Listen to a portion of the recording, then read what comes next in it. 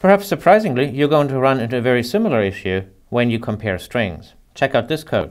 I have two strings, Uda and city. I concatenate the two together to form a string that I call first and second. Now here I have a third string, Udacity, and now I check whether the first and second, which we would expect to be Udacity, is the same as Udacity.